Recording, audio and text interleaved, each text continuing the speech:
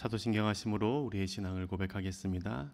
전능하사 천지를 만드신 하나님 아버지를 내가 믿사오며 그 외아들 우리 주 예수 그리스도를 믿사오니 이는 성녀로 잉태하사 동정녀 마리아에게 나시고 본디오 빌라도에게 고난을 받으사 십자가에 못 박혀 죽으시고 장사한 지 사흘 만에 죽은 자 가운데서 다시 살아나시며 하늘 오르사 전능하신 하나님 우편에 앉아 계시다가 저로서 산자와 죽은 자를 심판하러 오시리라 성령을 믿사오며 거룩한 공예와 성도가 서로 교통하는 것과 죄를 사여 주시는 것과 몸이 다시 사는 것과 영원히 사는 것을 믿사옵나이다.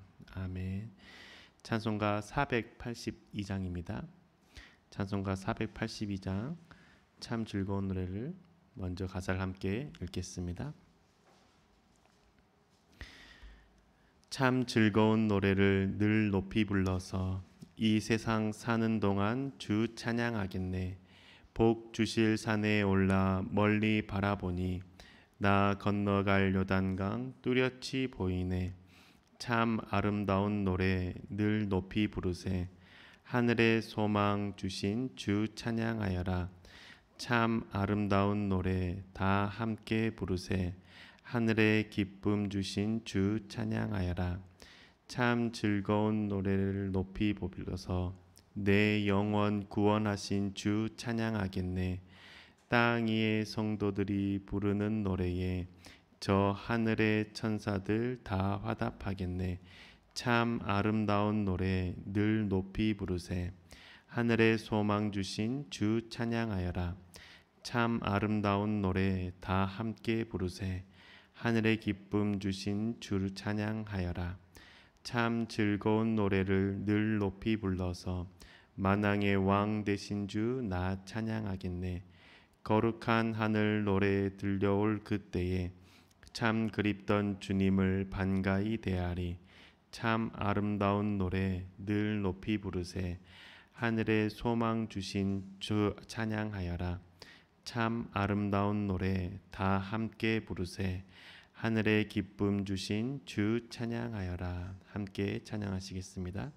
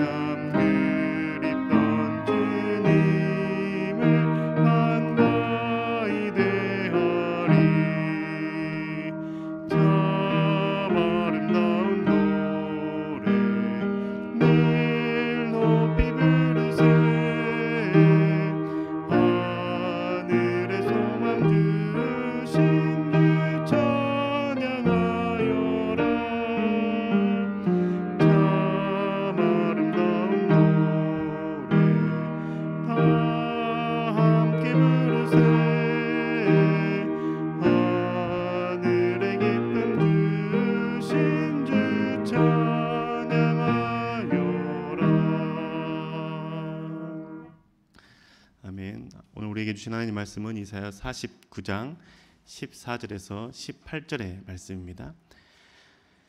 이사야서 49장 14절에서 18절의 말씀 함께 읽겠습니다.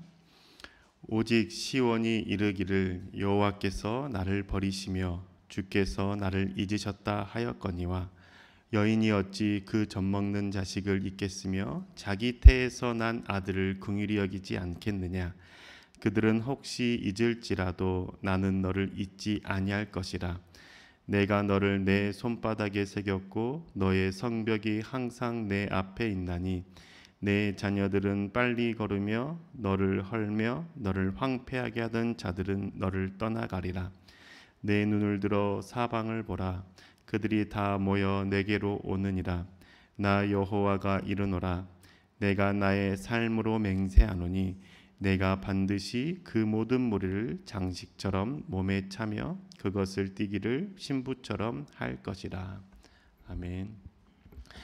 네, 하나님의 그 선하심, 하나님의 그 인자하심, 하나님의 그 사랑하심이 예배를 드리시고 기도하시는 모든 성도님들에게 함께 하시길 주님의 이름으로 축복합니다. 하나님을 믿고 의지하며 살아갈 때 우리는 때로 고난, 어려움을 당할 때가 있죠.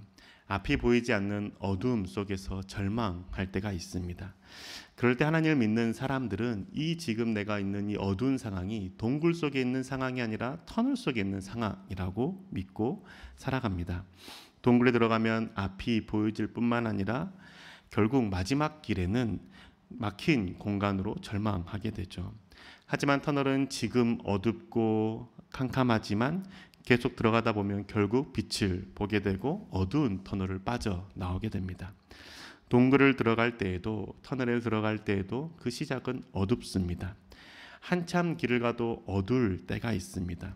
그런데 지금 내가 있는 곳이 터널이라는 사실을 아는 사람은 그 앞으로 계속 나아가는 그 발걸음이 무겁지만은 않습니다. 왜냐하면 그 끝은 반드시 빛 가운데로 나아갈 것을 알고 있기 때문이죠. 우리의 신앙도 마찬가지입니다. 고난과 어려운 상황 속에 있을 때 내가 지금 터널 속에 있다라는 사실을 아는 사람은 하나님을 믿는 그 믿음 놓치지 않고 포기하지 않죠. 하나님께서 나와 함께 하시기 때문에 나를 반드시 건지시고 회복시키실 것이라고 믿는 사람들은 두려움이 없습니다. 그런데 오늘 우리가 읽은 본문에 있는 백성들은 하나님을 믿는다라고 하면서도 절망하고 좌절하고 있습니다. 그 이유는 빛이 보이지 않는 것처럼 여겨지기 때문이죠. 하나님께 선택받았다라고 믿었던 백성들이었습니다. 그런데 성전이 파괴되고 바벨론 포로로 붙잡혀 가고 오랜 시간을 보내다 보니 이 포로 생활이 끝나지 않을 것 같았습니다. 그러자 결국 그들의 마음속에는 하나님이 나를 버렸다. 하나님이 나를 잊었다라는 생각을 갖게 되는 것이죠. 이사야서 49장 14절의 말씀을 제가 읽어 드리겠습니다. 오직 시온이 이르기를 여호와께서 나를 버리시며 주께서 나를 잊으셨다 하였거니와 아멘. 이스라엘 백성들 즉 시온 이스라엘 백성들이 하나님께서 나를 버렸다라고 말하고 나를 잊었다라고 고백합니다. 이집트 바로 왕의 손에서 건지셨던 하나님께서 바로의 손에서는 건져주고 있지 않고 있기 때문입니다. 이집트에서 구원받고 가나안 땅을 정복하고 이방 나라들과의 싸움에서 승리할 때에는 하나님이 최고였고 자신들은 하나님께 선택받은 백성이 맞다라고 믿었습니다. 그런데 성전이 멸망하고 바벨론 포로로 끌려가고 있는 이 상황 가운데 하나님의 능력이 의심되기 시작한 것이죠. 왜냐하면 이들은 바벨론 포로로 끌려가기 전에도 하나님께서 택하신 백성은 멸망시키지 않을 것이라는 믿음, 확신이 있었기 때문입니다. 하나님께서는 그 바벨론 포로로 끌려가지 않게 하시고 바벨론을 이업으로부터 건져 주실 것이라는 믿음, 확신을 갖고 살았습니다. 안전하게 지켜 줄 거라고 믿었던 것이죠. 그런데 그 믿었던 하나님께서 자신들을 택하셨다라고 말씀하셨던 그 하나님께서 바벨론에게 멸망당하게 하시고 하나님이 계시는 성전이 파괴되게 하시고 포로 생활로 끌려가게 하셨습니다.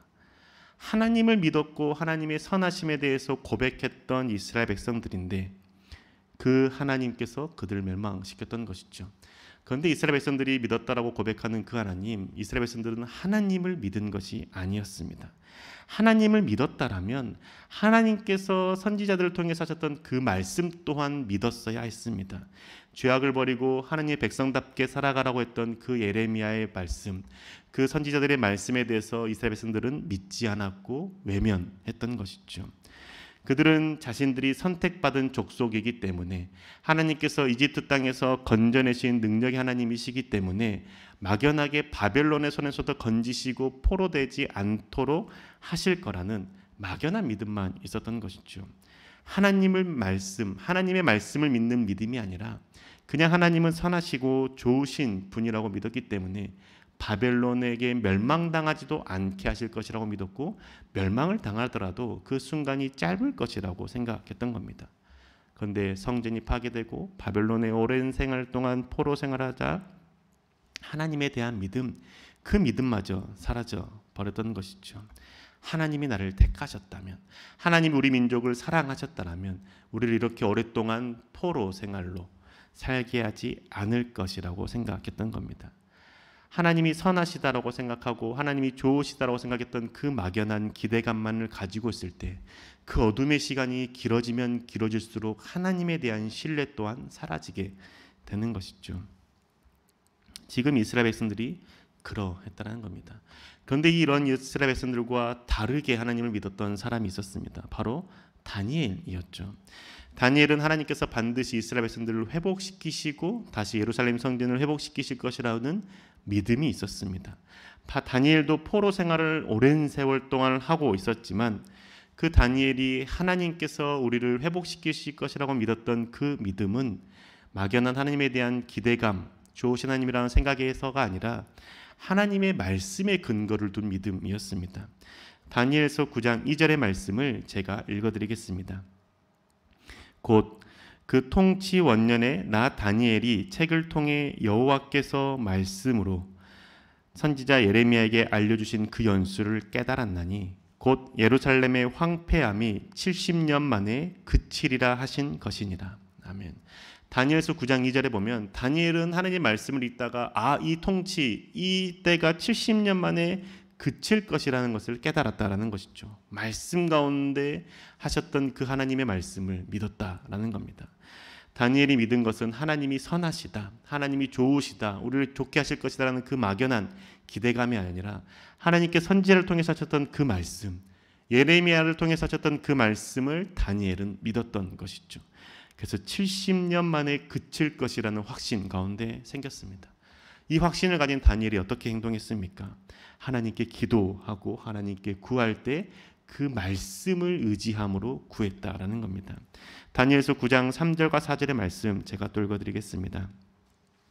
내가 금식하며 베옷을 입고 죄를 덮어 쓰고 주 하나님께 기도하며 간구하기를 결심하고 내 하나님 여호와께 자복하며 기도하며 이르기를 크시고 두려워할 주 하나님 주를 사랑하고 주의 계명을 지키는 자를 위하여 언약을 지키시고 그에게 인자를 베푸시는 이시여. 아멘.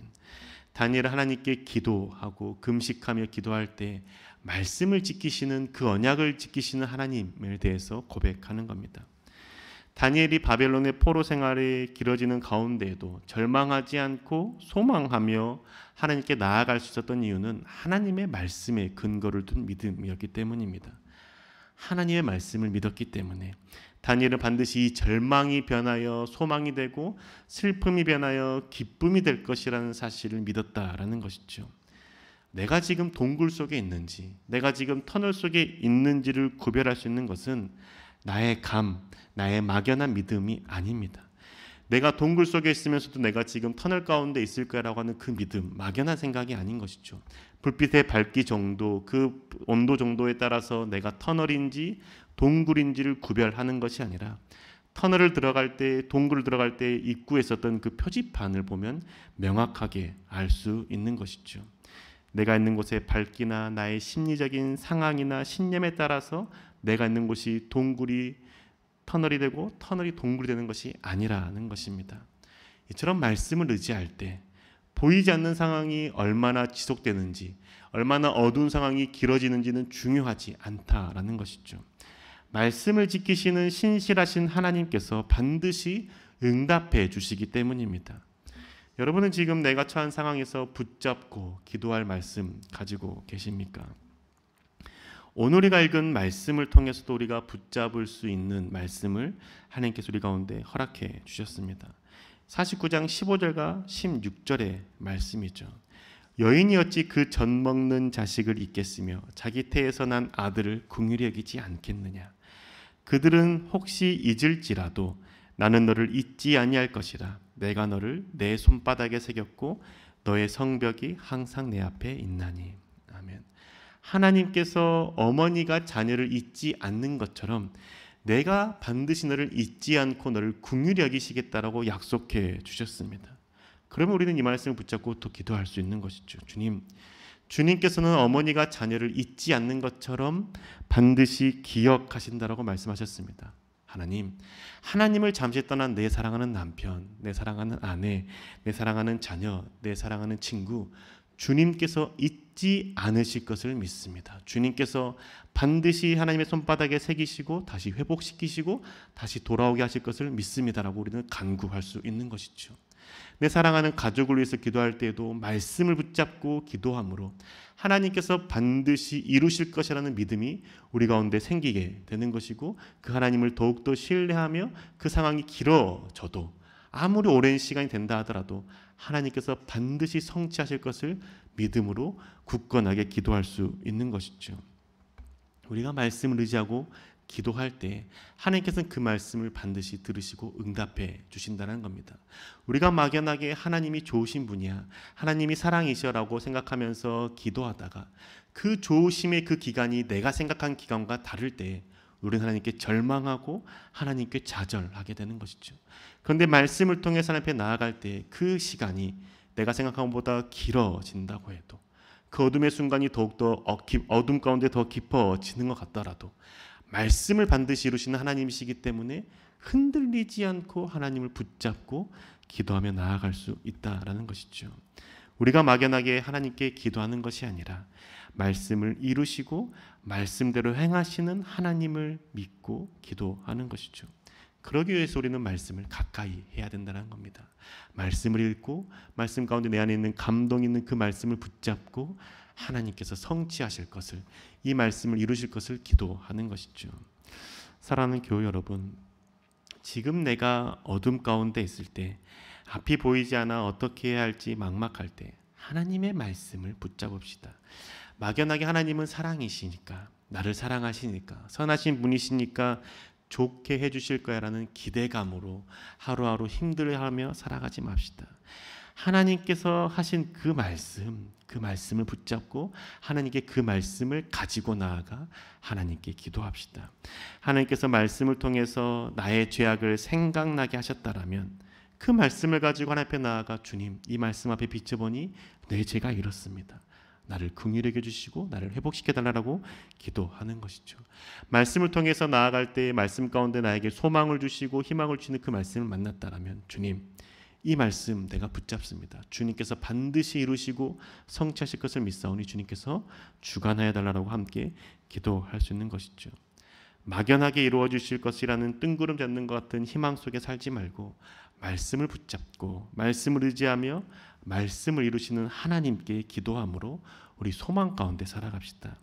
하나님은 반드시 말씀을 붙잡고 살아가는 자에게 능력을 베푸시고 그 말씀을 이루어 주실 겁니다. 왜냐하면 말씀이 곧 하나님이시기 때문입니다. 말씀을 붙잡을 때에 하나님을 붙잡는 것이고 그렇기 때문에 하나님께서는 말씀 가운데 반드시 역사하시고 이루실 것이라는 것이죠. 막연한 기대감으로 캄캄한 동굴 속에 있으면서 터널이라고 생각하지 말고 말씀을 붙잡고 기도함으로 빛 가운데 나아가고 어두운 그 끝에 빛을 바라보시는 저와 여러분 되시길 주의 이름으로 축복합니다. 기도하시겠습니다. 우리 가운데 함께 하시는 주님 주님의 그네에 감사를 드립니다.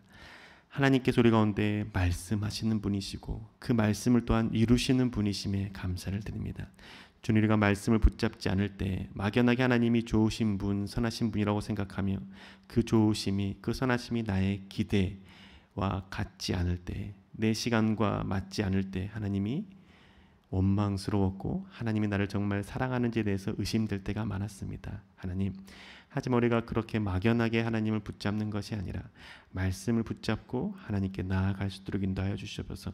그래서 말씀을 이루시는 분이 주님이심을 고백하고 믿음으로 말미암아 아무리 어둡고 아무리 그 깊은 칠흑 같은 상황 가운데 있을지라도 말씀을 반드시 성취하시는 그 하나님을 신뢰함으로 말씀을 가지고 주 앞에 나아가 간구할 때 우리 안에 소망을 보게 하여 주시고 그 빛을 바라볼 수 있도록 주님 축복하여 주시옵소서.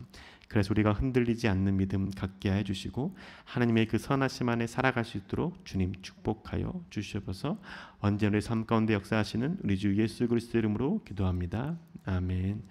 하늘에 계신 우리 아버지여 이름이 거룩히 여김을 받으시오며 나라의 마옵시며 뜻이 안에서 이룬 것 같이 땅에서도 이루어지이다. 오늘날 우리에게 일용할 양식을 주옵시고 우리가 우리에게 죄 지은 자를 사하여 준 것 같이 우리 죄를 사하여 주옵시고 우리를 시험에 들게 하지 마옵시고 다만 하게서 고옵소서 대개 나라와 권세와 영광이 아버지께 영원히 있사옵나이다 아멘.